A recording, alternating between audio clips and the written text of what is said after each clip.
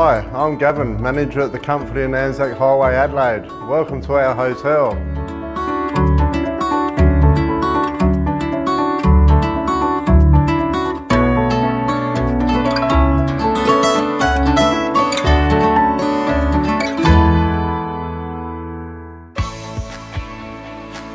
Here are some of the things you can do while you are staying at our hotel.